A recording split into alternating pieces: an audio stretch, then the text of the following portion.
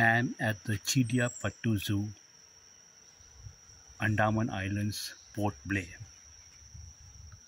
This is the enclosure of the monitor lizards. You can see them walking over there.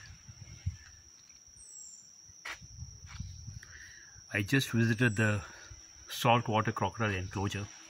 Amazing. Here, this is the monitor lizards.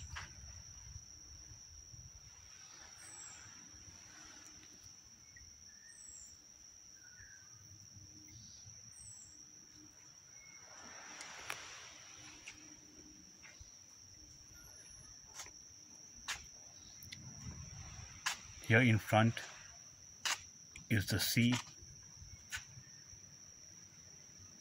This place is also famous for sunset. Just across there is a small viewing point from where you can observe sunset in the evening.